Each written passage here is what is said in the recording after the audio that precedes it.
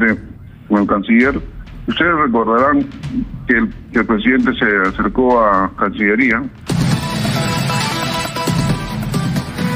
Bueno, eh, seguimos en comunicación. Señor Rojas, disculpe usted, adelante, continúe. Ha habido en estos momentos un movimiento sísmico. Eh, vamos a pedirle a la gente que mantenga la calma. Eh, un, un minuto, señor Rojas, por favor.